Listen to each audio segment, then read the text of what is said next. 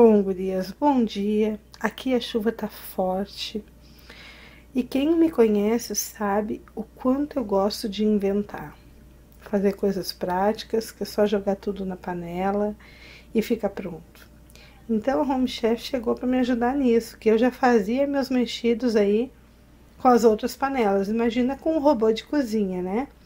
Então, vou fazer o seguinte, gente. Eu vou pegar aqui meio litro de água e vou juntar tudo isso aqui que tá na tábua, temperados com sal e pimenta na Home Chef. Então, gente, vamos lá? Acho que vocês conseguem enxergar, né? Bom, vamos colocar então meio litro de água.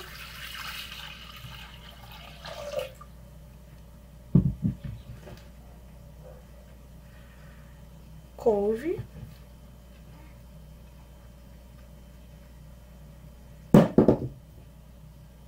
Cebola. Carne. Um dente de alho. Duas batatas.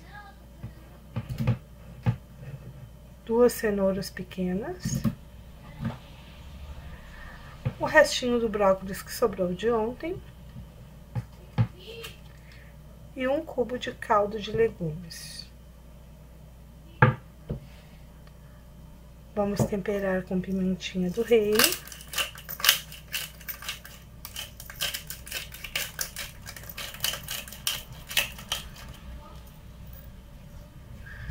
E sal.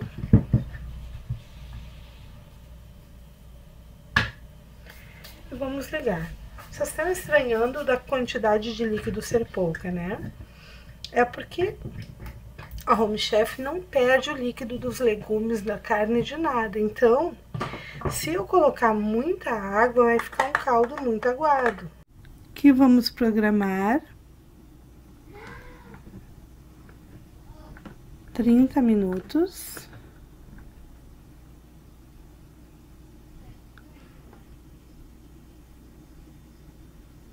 Velocidade 1 e temperatura 100 graus.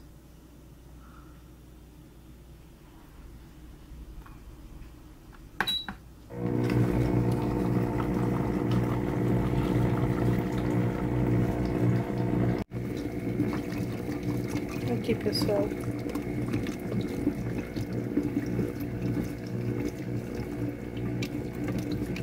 Digam como que um preparo não vai ficar gostoso sendo feito assim, cozido uniformemente.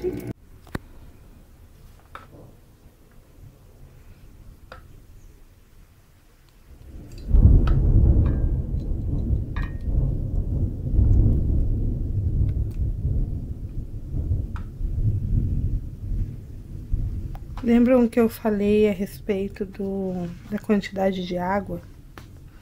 Gente, eu fiz essa sopa com meia, meio litro de água. Olha aqui.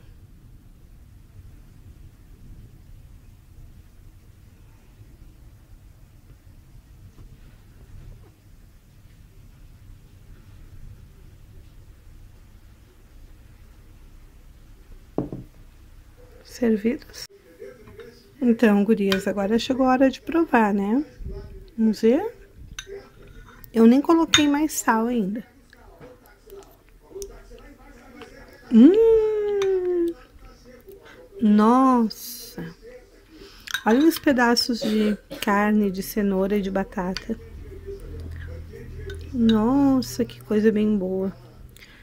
Quem quiser uma sopa creme totalmente cremosa, então agora nesse finalzinho dá uma mexida nela ali por dois segundos